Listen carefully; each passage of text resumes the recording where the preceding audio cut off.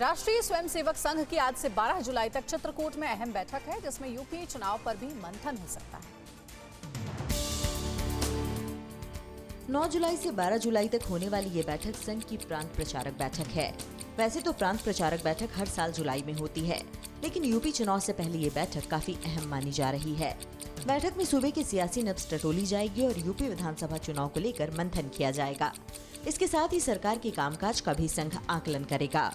11 क्षेत्रों के क्षेत्र प्रचारक और सह क्षेत्र प्रचारकों की बैठक में सर संचालक मोहन भागवत सर कार्यवाह दत्तात्रेय होसबाले और सभी पाँच सह कार्यवाहक मौजूद रहेंगे। प्रांत प्रचारकों की बैठक में संघ के कामकाज की समीक्षा होगी और आगे के कार्यक्रम तय होंगे। हमने की गलती फिर एक बार। कोरोना ने किया, दोबारा प्रहार।